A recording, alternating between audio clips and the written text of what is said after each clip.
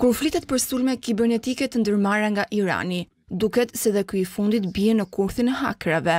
Televizioni shtetëror i Iranit u hakerua, teksa ishte në transmetim live me një buletin lajmesh. Transmetimi u ndërpre për pak sekonda, në shenjë proteste kundër liderit të vendit. Një maskë u shfaq në ekran, e ndjekur nga një imazh i liderit suprem Ali Khamenei me flakë rreth tij. Më pas, u shfaqën fotot e Mahsa Aminit dhe tre grave të tjera të vrara në protestat e fundit. Një nga titrat shkruante, Bashkohuni me ne dhe ngrihuni, ndërsa në një tjetër thuhej, Gjaku i të rinjve tanë po ju pikon nga duart. Grupi që ndërmori këtë hap e quan veten Adalat Ali ose Drejtësia e Aliut. Ngjarja vjen, pasi të paktën tre persona u qëlluan për vdekje, kur protestuesit u përleshën me forcat e sigurisë. Trazirat kanë shpërthyer në vend pas vdekjes së Mahsa Aminit, e cila u burgos sepse nuk kishte veshur siç duhet hixhabin. Vdekja e saj ka shkaktuar një valë të paprecedentë protestash, jo vetëm në qytetet iraniane, por edhe në shumë shtete të botës.